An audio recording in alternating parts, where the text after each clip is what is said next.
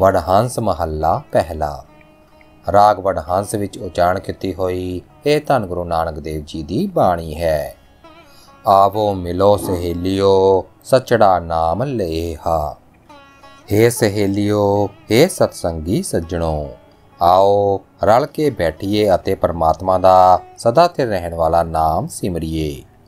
ਰੋਵੈ ਬਿਰਹਾ ਤਨ ਕਾ ਆਪਣਾ, ਸਾਹਿਬ ਸਮਾਲੇਹਾ ਆਓ ਪਰਮਾਤਮਾ ਤੋਂ ਆਪਣੇ ਵਿਛੋੜੇ ਦਾ ਮੁੜ-ਮੁੜ ਅਫਸੋਸ ਨਾਲ ਚੇਤਾ ਕਰੀਏ। ਉਹ ਵਿਛੋੜਾ ਦੂਰ ਕਰਨ ਲਈ ਮਾਲਕ ਪਰਮਾਤਮਾ ਨੂੰ ਯਾਦ ਕਰੀਏ। ਸਾਹਿਬ ਸੰਭਾਲੈ ਹੈ, ਪੰਥ ਨਿਹਾਲੈ ਹੈ, ਆਸਾ ਵੀ ਉਥੈ ਜਾਣਾ। ਆਓ ਅਸੀਂ ਮਾਲਕ ਨੂੰ ਹਿਰਦੇ ਵਿੱਚ ਵਸਾਈਏ ਅਤੇ ਉਸ ਰਸਤੇ ਨੂੰ ਤੱਕੀਏ ਜਿਸ ਰਸਤੇ ਸਭ ਜਾ ਰਹੇ ਹਨ।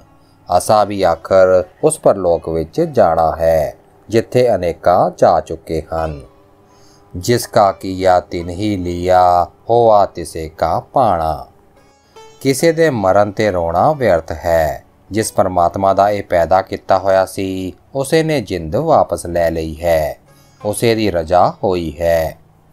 ਜੋ ਤਿਨ ਕਰ ਪਾਇਆ, ਸੋ ਆਗੇ ਆਇਆ, ਅਸੀਂ ਕੇ ਹੁਕਮ ਕਰੇਹਾ। ਇੱਥੇ ਜਗਤ ਵਿੱਚ ਜੀਵ ਨੇ ਜੋ ਕੁਝ ਕੀਤਾ, ਮਰਨ ਤੇ ਉਸ ਦੇ ਅੱਗੇ ਆ ਜਾਂਦਾ ਹੈ। ਇਸ ਰੱਬੀ ਨਿਯਮ ਅੱਗੇ ਸਾਡਾ ਕੋਈ ਜ਼ੋਰ ਨਹੀਂ ਚੱਲ ਸਕਦਾ। ਆਵੋ ਮਿਲੋ ਸਹੇਲਿਓ, ਸੱਚੜਾ ਨਾਮ ਲਏ ਲਏਹਾ ਇਸ ਵਾਸਤੇ ਹੈ ਸਹੇਲਿਓ, ਆਓ ਰਲ ਕੇ ਬੈਠੀਏ ਅਤੇ ਸਦਾ ਤੇ ਰਹਿਣ ਵਾਲੇ ਪਰਮਾਤਮਾ ਦਾ ਨਾਮ ਸਿਮਰਿਏ। ਮਰਨ ਨਾ ਮੰਦਾ ਲੋਕਾ ਆਖੀਐ, ਜੇ ਮਰ ਜਾਣਾ ਐਸਾ ਕੋਏ। ਏ ਲੋਕੋ, ਮੌਤ ਨੂੰ ਮਾੜਾ ਨਾ ਆਖੋ, ਮੌਤ ਚੰਗੀ ਹੈ। ਪਰ ਤਦੋਂ ਹੀ ਜੇ ਕੋਈ ਮਨੁੱਖ ਉਸ ਤਰੀਕੇ ਨਾਲ ਜੋ ਕਿ ਮਰਨਾ ਜਾਣਦਾ ਹੋਵੇ। ਸੇਵੋ ਸਾਹਿਬ ਸਮਰੱਥ ਆਪਣਾ ਪੰਥ ਸੁਹੇਲਾ ਆਗੈ ਹੋਏ। ਉਹ ਤਰੀਕਾ ਇਹ ਹੈ ਕਿ ਆਪਣੇ ਸਰਵ ਸ਼ਕਤੀਮਾਨ ਮਾਲਕ ਨੂੰ ਸਿਮਰੋ ਤਾਂ ਕਿ ਜੀਵਨ ਦੇ ਸਫ਼ਰ ਵਿੱਚ ਰਸਤਾ ਸੌਖਾ ਹੋ ਜਾਏ। ਪੰਥ ਸੁਹੇਲੇ ਜਾਵੋ ਤਾਂ ਫਲ ਪਾਵੋ, ਆਗੈ ਮਿਲੇ ਵਡਾਈ। ਸਿਮਰਨ ਦੀ ਬਰਕਤ ਨਾਲ ਸੌਖੇ ਜੀਵਨ ਰਸਤੇ ਤੁਰੋਗੇ, ਤਾਂ ਇਸ ਦਾ ਫਲ ਵੀ ਮਿਲੇਗਾ ਅਤੇ ਪਰਮਾਤਮਾ ਦੀ ਹਜ਼ੂਰੀ ਵਿੱਚ ਇੱਜ਼ਤ ਮਿਲੇਗੀ। ਭੇਟੈ ਸੋ ਜਾਵੋ, ਸੱਚ ਸਮਾਵੋ, ਤਾਂ ਪਤ ਲੇਖੈ ਪਾਈ। ਜੇ ਪਰਮਾਤਮਾ ਦੇ ਨਾਮ ਦੀ ਭੇਟਾ ਲੈ ਕੇ ਜਾਵੋਗੇ, ਤਾਂ ਉਹ ਸਦਾ ਤੇ ਪ੍ਰਭੂ ਵਿੱਚ ਇੱਕ ਰੂਪ ਹੋ ਜਾਵੋਗੇ। ਕੀਤੇ ਕਰਮਾਂ ਦਾ ਹਿਸਾਬ ਹੋਣ ਵੇਲੇ ਇੱਜ਼ਤ ਮਿਲੇਗੀ। ਮਹਿਲੀ ਜਾਏ ਭਾਵੋ, ਖਸਮੈ ਭਾਵੋ, ਰੰਗ ਸਿਉ ਰਲਿਆ ਮਾਣੈ। ਪਰਮਾਤਮਾ ਦੀ ਹਜ਼ੂਰੀ ਵਿੱਚ ਥਾਂ ਪ੍ਰਾਪਤ ਕਰੋਗੇ ਅਤੇ ਖਸਮ ਪ੍ਰਭੂ ਨੂੰ ਚੰਗੇ ਲੱਗੋਗੇ। ਜਿਹੜਾ ਜੀਵ ਇਹ ਪੇਟਾ ਲੈ ਕੇ ਜਾਂਦਾ ਹੈ, ਉਹ ਪ੍ਰੇਮ ਨਾਲ ਆਤਮਕ ਆਨੰਦ ਮਾਣਦਾ ਹੈ। ਮਰਨ ਨਾ ਮੰਦਾ ਲੋਕਾ ਆਖੀਐ, ਜੇ ਕੋਈ ਮਰ ਜਾਣੈ। हे ਲੋਕੋ, ਮੌਤ ਨੂੰ ਮਾੜਾ ਨਾ ਆਖੋ। ਪਰ ਇਸ ਗੱਲ ਨੂੰ ਉਹੀ ਸਮਝਦਾ ਹੈ ਜਿਹੜਾ ਇਸ ਤਰ੍ਹਾਂ ਮਰਨਾ ਜਾਣਦਾ ਹੋਵੇ। ਮਰਨ ਮੁਨਸਾ ਸੂਰਿਆ ਹੱਕ ਹੈ ਜੋ ਹੋਏ ਮਰਨ ਪਰਵਾਣੋ। ਜਿਹੜੇ ਮਨੁੱਖ ਜਿਉਂਦਿਆਂ ਹੀ ਪ੍ਰਮਾਤਮਾ ਦੀ ਨਜ਼ਰਾਂ ਵਿੱਚ ਕਬੂਲ ਹੋ ਕੇ ਮਰਦੇ ਹਨ, ਉਹ ਸੂਰਮੇ ਹਨ। ਉਹਨਾਂ ਦਾ ਮਰਨਾ ਵੀ ਲੋਕ ਪਰਲੋਕ ਵਿੱਚ ਸਲਾਇਆ ਜਾਂਦਾ ਹੈ। ਸੋਰੇ ਸੇਈ ਆਗੇ ਆਖੀਐ ਹੈ ਦਰਗਹਿ ਭਾਵ ਹੈ ਸਾਚੀ ਮਾਣੋ। ਪਰਮਾਤਮਾ ਦੀ ਹਜ਼ੂਰੀ ਵਿੱਚ ਉਹੀ ਬੰਦੇ ਸੂਰਮੇ ਆਖੇ ਜਾਂਦੇ ਹਨ। ਉਹ ਬੰਦੇ ਸਦਾ ਤੇ ਪ੍ਰਭੂ ਦੀ ਦਰਗਾਹ ਵਿੱਚ ਆਦਰ ਪਾਉਂਦੇ ਹਨ। ਦਰਗਹਿ ਮਾਨ ਭਾਵ ਹੈ, ਪਤ ਸਿਉ ਜਾਵ ਹੈ, ਆਗੈ ਦੁਖ ਨਾ ਲਾਗੈ। ਉਹ ਦਰਗਾਹ ਵਿੱਚ ਇੱਜ਼ਤ ਪਾਉਂਦੇ ਹਨ, ਇੱਜ਼ਤ ਨਾਲ ਇੱਥੋਂ ਜਾਂਦੇ ਹਨ ਅਤੇ ਅਗਾਹ ਪਰਲੋਕ ਵਿੱਚ ਉਹਨਾਂ ਨੂੰ ਕੋਈ ਦੁੱਖ ਨਹੀਂ ਵਿਆਪਦਾ। ਕਰ ਏਕ ਧਿਆਵੈ ਤਾਂ ਫਲ ਪਾਵੈ ਹੈ, ਜਿਤ ਸੇਵੀਐ ਭਉ ਭਾਗੈ। ਉਹ ਬੰਦੇ ਪ੍ਰਭੂ ਨੂੰ ਹਰ ਥਾਂ ਵਿਆਪਕ ਜਾਣ ਕੇ ਸਿਮਰਦੇ ਹਨ। ਉਸ ਪਰਮਾਤਮਾ ਦੇ ਦਰ ਤੋਂ ਫਲ ਪ੍ਰਾਪਤ ਕਰਦੇ ਹਨ। ਜਿਸ ਦਾ ਸਿਮਰਨ ਕੀਤਿਆਂ ਹਰੇਕ ਕਿਸਮ ਦਾ ਡਰ ਦੂਰ ਹੋ ਜਾਂਦਾ ਹੈ। ਉੱਚਾ ਨਹੀਂ ਕਹਿਣਾ ਮਨ ਮੈਂ ਰਹਿਣਾ, ਆਪੇ ਜਾਣੈ ਜਾਣੋ।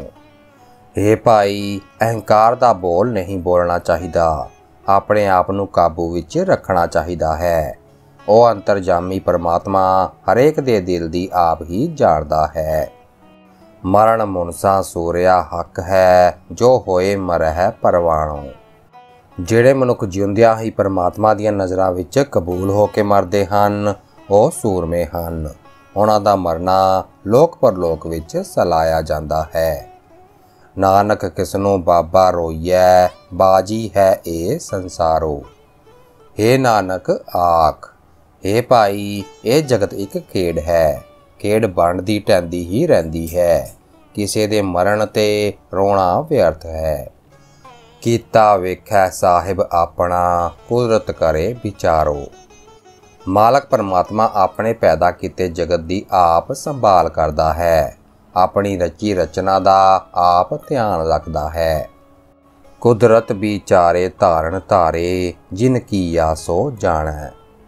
ਪਰਮਾਤਮਾ ਆਪਣੀ ਰਚੀ ਰਚਨਾ ਦਾ ਖਿਆਲ ਰੱਖਦਾ ਹੈ ਇਸ ਨੂੰ ਆਸਰਾ ਸਹਾਰਾ ਦਿੰਦਾ ਹੈ। ਜਿਸ ਨੇ ਜਗਤ ਰਚਿਆ ਹੈ, ਉਹੀ ਇਸ ਦੀਆਂ ਲੋੜਾਂ ਵੀ ਜਾਣਦਾ ਹੈ। ਆਪੇ ਵੇਖੈ, ਆਪੇ ਬੁੱਝੈ, ਆਪੇ ਹੁਕਮ ਪਛਾਣੈ। ਪਰਮਾਤਮਾ ਆਪ ਹੀ ਸਭ ਦੇ ਕੀਤੇ ਕਰਮਾਂ ਨੂੰ ਵੇਖਦਾ ਹੈ।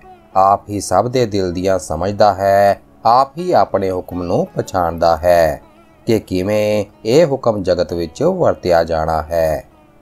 ਜਿਨ ਕਿਚ ਕੀਆ ਸੋਈ ਜਾਣੈ, ਤਾ ਕਾ ਰੂਪ ਅਪਾਰੋ। ਜਿਸ ਪਰਮਾਤਮਾ ਨੇ ਇਹ ਜਗਤ ਰਚਨਾ ਕੀਤੀ ਹੋਈ ਹੈ, ਉਹੀ ਇਸ ਦੀਆਂ ਲੋੜਾਂ ਜਾਣਦਾ ਹੈ।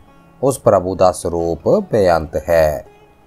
ਨਾਨਕ ਕਿਸ ਨੂੰ ਬਾਬਾ ਰੋਈਐ, ਬਾਜੀ ਹੈ ਇਹ ਸੰਸਾਰੋ। हे ਨਾਨਕ ਆਖ हे ਭਾਈ, ਇਹ ਜਗਤ ਇੱਕ ਖੇਡ ਹੈ। ਇੱਥੇ ਜੋ ਘੜਿਆ ਹੈ, ਉਸਨੇ ਭੰਜਣਾ ਹੈ।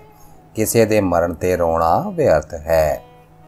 ਵਾਹਿਗੁਰੂ ਜੀ ਕਾ ਖਾਲਸਾ, ਵਾਹਿਗੁਰੂ ਜੀ ਕੀ ਫਤਿਹ।